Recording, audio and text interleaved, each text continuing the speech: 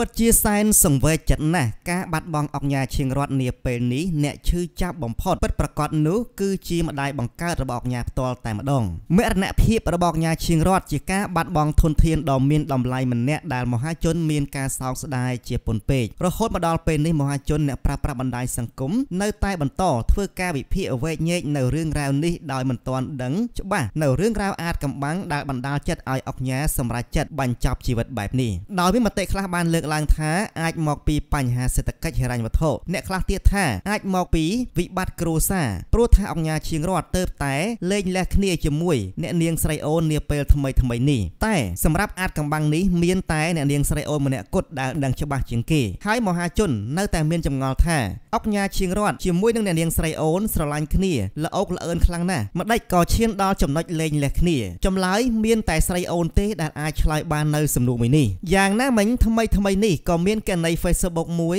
ដែលមានឈ្មោះថាហាក់ពិសីក៏បានធ្វើការចែករំលែករូបភាពមួយសន្លឹកដែលម្ដាយរបស់កញ្ញាឈៀងរតកំពុងតែកាន់ទៀននៅក្នុងពិធីបន់សពរួចភ្ជាប់ជាមួយសំណេរថាការឈឺចាប់ដ៏ស្ងៀមស្ងាត់ជាតិជាស្ត្រីត្រូវប្តីលាចាកលោកទាំងវ័យក្មេងប្រឹងប្រែងតស៊ូក្នុងនាមជាស្ត្រីមេម៉ាយចិញ្ចឹមថែរក្សាកូនតូចតូច3នាក់តែម្នាក់ឯងមិនហ៊ានយកប្តីទៀតខ្លាចគេធ្វើបាបកូនទោះជីវភាពលំបាកយ៉ាងណាក៏កូនកូនបានរស់រៀនចប់ចុងចប់ដើម ដោយពឹងលើមុខរបរលក់បង្អែមនិងនំបញ្ចុកកាលនៅក្មេងៗខ្ញុំចូលចិត្តហូបបង្អែមគាត់ធ្វើឆ្ងាញ់ណាស់ប្រវត្តិគ្រួសារកំសត់មួយនេះអ្នកភូមិមេសប្រច័នម្នាក់ណាក៏ដឹងឮហើយស្ញាច់សរសើរស្ត្រីដ៏រឹងមាំម្នាក់នេះដែរការប្តីលាចាកលោកគាត់ធ្វើចិត្តជាង10ឆ្នាំទម្រាំផ្លូវចិត្តបានប្រសើរឡើងវិញអ្នកណាទៅដឹងថា30ឆ្នាំក្រោយអនិច្ចកម្មមកត្រូវជួបរឿងអកុសលនេះម្ដងទៀតតើបេះដូងអ្នកម្ដាយខ្ទេចខ្ទីយ៉ាងណាទៅ ត្រឹមជាញាត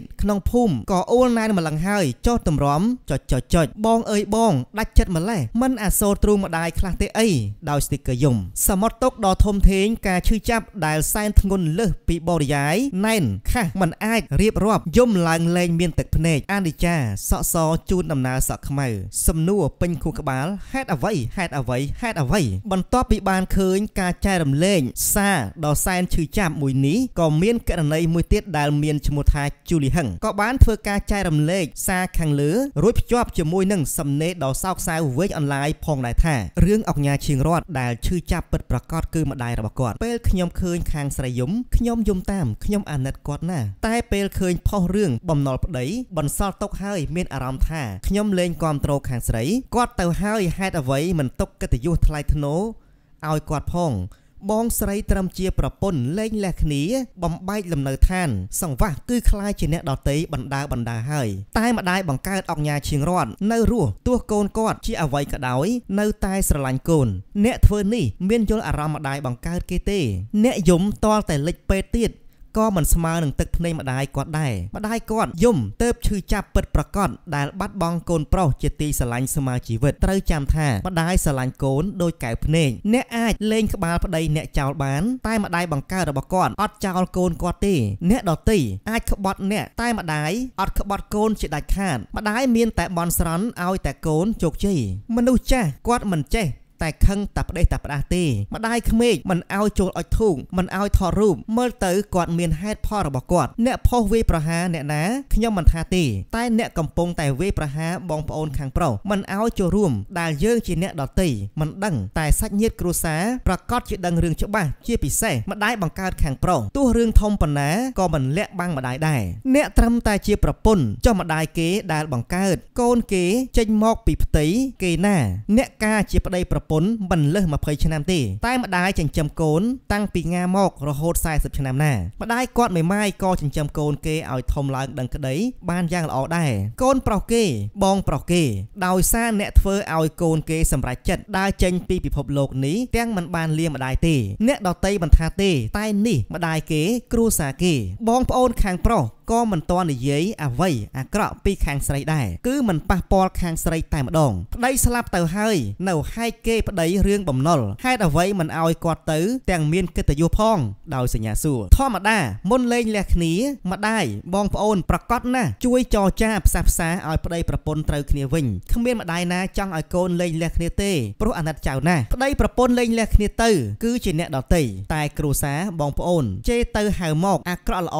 លំអៀងទៅខាងបងប្អូនមុនហើយទាំងគេទាំងខ្ញុំខ្ញុំគិតថាបងប្អូនខាងប្រុសមិនឲ្យចូលព្រោះគេដឹងរឿងពិតប្រាកដទើបមិនអាចលើកលែងទោសឲ្យបានសូម្បីតែរឿង ធ្វើបន់7ថ្ងៃម្ដាយបង្កើតគេធ្វើឲ្យកូនប្រុសគេហើយអ្នកទៅធ្វើដើម្បីអ្វីឲ្យមហាជនឃើញតែអ្នកមានគិតដល់ម្ដាយបង្កើតគេទេខ្ញុំសូមទោសបើខ្ញុំនិយាយខុសខ្ញុំមិនចង់ចេះដឹងរឿងគ្រួសារគេទេក៏មិនចង់ផុសដែរតែមហាជនបន្ទោសបងប្អូនខាងប្រុសមិនឲ្យចូលរោងបន់តើអ្នកមានយល់ពីការឈឺចាប់បំផុតគឺម្ដាយបង្កើតរបស់លោកអុកញ៉ាដោយសញ្ញាសួរលើកទឹកចិត្តម្ដាយគេដាក់លើទឹកចិត្តអ្នកសិនទៅរីឯកូនស្រីគាត់នៅតូចមិនដឹងរឿងអ្វីទេតែម្ដាយគាត់ដឹងរឿងគ្រប់យ៉ាងក៏មិននិយាយអាក្រក់ឬប៉ះពាល់ដល់ខាងស្រីដែរតែខាងស្រីទេដែលព្យាយាមបង្ហាញឲ្យមហាជនឃើញរហូតផុសឆាតវាយប្រហារទៅគ្រួសារខាងប្រុសមិនឲ្យថតរូបចំណុចនេះខ្ញុំមិនគាំទ្រទេ សូមបងស្រីនៅឲ្យស្ងៀមស្ងាត់ទៅល្អសូមឲ្យអ្នកស្លាប់ទៅ បានទៅឲ្យបានសុខផង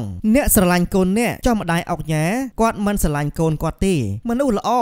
និងអាក្រក់គឺទង្វើបង្ហាញឲ្យឃើញត្រូវចាំថា អ្នកណាក៏ដោយមានរឿងអ្វីស្រែករកម្ដាយឲ្យជួយមុនគេទោះលោកអុកញ៉ាមុនស្លាប់ក៏គាត់ទៅរកម្ដាយគាត់ដែរបើអ្នកជាម្ដាយវិញតើអ្នកធ្វើចិត្តឲ្យអ្នកដែលធ្វើបាបផ្លូវចិត្តកូនគាត់ដល់ស្លាប់មកបនបានទេយល់អារម្មណ៍គ្រួសារគាត់ទេអ្នកយល់ពីការឈឺចាប់របស់ប្រពន្ធលែងលះប្តីចុះអ្នកមានយល់អារម្មណ៍ម្ដាយបង្កើតគេទេទឹកភ្នែកម្ដាយបង្កើតគឺមិនសម្ដែងទេត្រូវចាំថាបើប្រពន្ធល្អមិនលែងប្តីដែលស្រឡាញ់ប្រពន្ធទេប្តីស្រឡាញ់ប្រពន្ធអត់ស្លាប់អាចបញ្ជាក់ពីក្តីស្រឡាញ់បើម្ដាយជាខ្ញុំគេលំបាកប៉ុណ្ណាក៏មិនចោលកូនគាត់ដែរអ្នកអាចមិនដឹងរឿងខ្ញុំអាចមិនដឹងរឿងតែម្ដាយបង្កើតគេដឹងរឿងការឈឺចាប់របស់ម្ដាយគ្មានសម្លេងអត់សម្ដែងតើម្ដាយឯណាមិនស្រឡាញ់កូនដោយសញ្ញាសួរតើប្រពន្ធឯណាមិនស្រឡាញ់ប្តីចុះហេតុអ្វីលែងប្តីដោយសញ្ញាសួរប៉ុន្តែក្តីស្រឡាញ់របស់ម្ដាយចំពោះកូនគ្មានអ្វីមកវាស់ទំហំបាននោះទេក្តីស្រឡាញ់មួយនេះ